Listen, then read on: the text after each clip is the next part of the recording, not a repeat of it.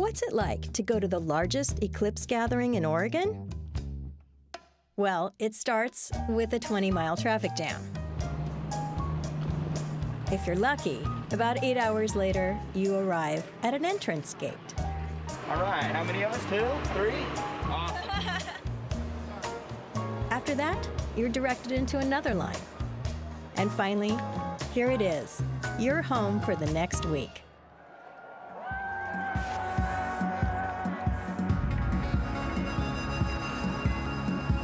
If this is your idea of a dirt encrusted nightmare, well, to others, it's a fantastical playground.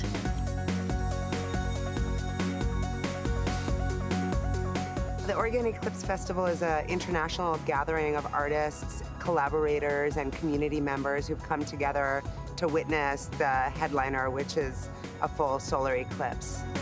In August 2017, that rare astronomical event swept across the state of Oregon transforming Craig Woodward's 55,000 acre ranch near Prineville into a temporary community of 30,000 artists, performers, and eclipse devotees.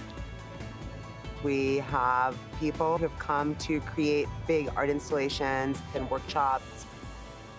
It's days and days of programming from people all over the world who've brought their really special gifts here.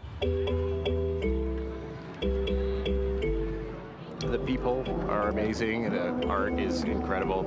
The floaties, the little flotillas of people. I think it's really welcoming. Um, people are giving hugs and saying hello, and you know, when you go to a music concert like in Portland, you know, you're not really going to get that experience. And the scale of this place is overwhelming to me. Every turn is a magical, beautiful spot. Uh, just so many discoveries and so much inspiration in all the art. And the people are so beautiful and open and friendly and, and yeah, free to express themselves. You guys are phenomenal out there.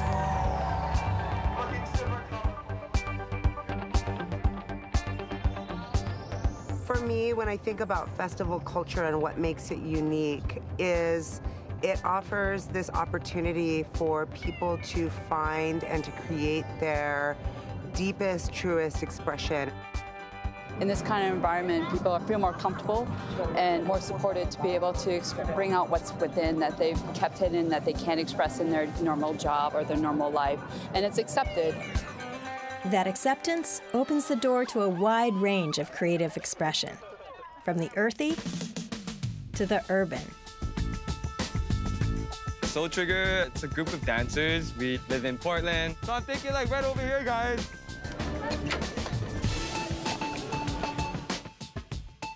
Soul Trigger is a moment in time um, when the mind is unleashed, the body unchained, and the soul freed. All right, let's do this.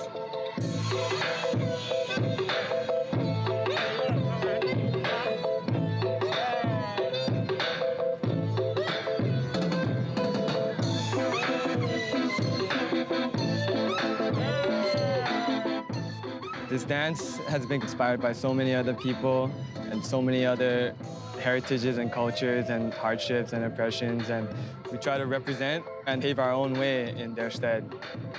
It's more than just a movement. This is an extension of our lives. And we found each other through this dance. The reality of it is, it was born in the street in a moment. You know what I mean? Because this dance is freestyle. Plain and simple. It's freestyle in the moment, we're battling, and who knows what's happening in that moment. And what might happen in the next moment. Keep going, keep going, keep going. And in the next.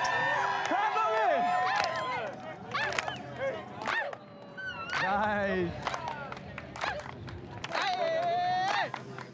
being able to adapt and move and use different styles at your disposal allows you to speak differently and thusly be in the moment, be in that place and time. Beautiful. You touch people, and in return, they come and they like, I heard you. And so we take this and we use this as a tool to grow and evolve and to bring people together, you know? It's through this. It's through this interaction in this community. Like, this is the point. Yeah. This is the yeah. point. We're here, you know? We're here. You guys rock. Seriously. If you're looking for a quieter experience, just make your way across the Cultural Bridge and consider it all from a completely different perspective. The original First Nations people that used to roam these lands was the Wasco and the Paiute tribes. During the festival, this ancient land is home to indigenous people from across North and South America. From New Zealand and Australia, from Asia, the Pacific Islands, and many other places. Our focus of One Nation Earth Camp was to bring all First Nations together to collaborate with one another, to network with one another. And this is a, a, time for all First Nations to really be the advocates of environmental justice. If you take care of yourself, then you will be ready to take care of the Mother Earth. It was really important to us for tribes and indigenous culture to bring forward the programming that they thought was relevant. We have something to teach. We have something to give back to the community. A lot of people come join us and really absorb what the elders have to teach. And also, we love the people that come join us in prayer.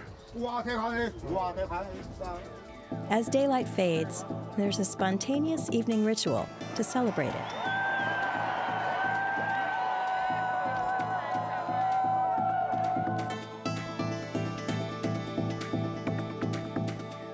After dark, the festival transforms.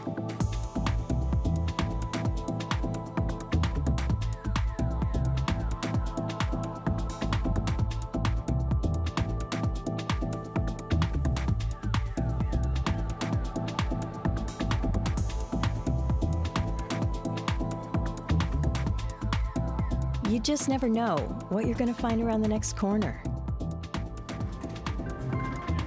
You might find yourself plucking a laser harp or wading into a kaleidoscope. There are seven stages hosting dozens of dance parties and a variety of acts from all over the world that light up the desert sky for miles around.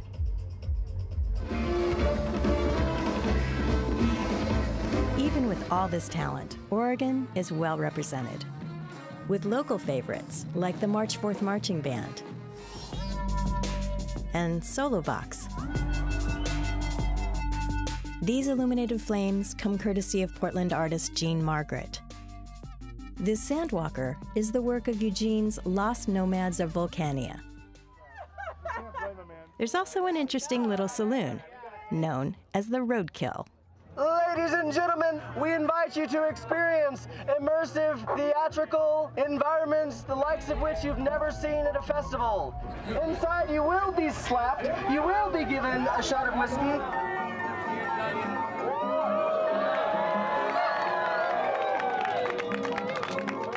It's the work of two Southern Oregon artists, Tom Seppi and Tucker Teutsch III.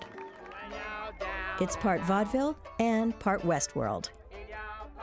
We're out of Talent in Medford. My partner Tom Seppi does all the robotics, and I do all the uh, kind of storyline, performance, actor, built environment stuff. I built four robots for this installation. Uh, we have a, a bar sweep we call Arlo, and he cruises around and sweeps the road and entices people into the space. The main one is eight pneumatically operated legs that kick to music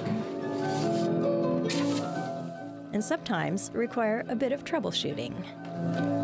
It doesn't always go according to plan, but these guys are seasoned pros. In 2010, 2011, I founded uh, the PDX Bridge Festival, which is sort of a celebration of um, 100 years of the Hawthorne Bridge. And uh, I was the project director on the Temple at Burning Man in 2008. I've been doing festivals for about 14 years now professionally.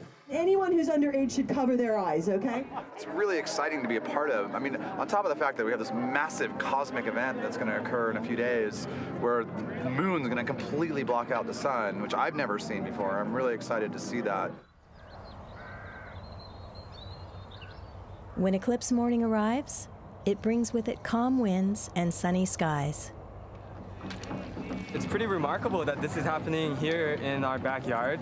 You don't get this type of opportunity maybe just once in a lifetime. Crossing the bridge today in here was like walking in a pilgrimage to this holy event. I think the eclipse itself sort of brings out a bit of the primal in all of us. Who will bring the sun back is a question that's probably been at the base of a lot of religion and a lot of mystic practices. The Aztec dancers are sending a prayer through their dance. They believe that there's something special going on within the universe as well. So they're able to celebrate at the same time.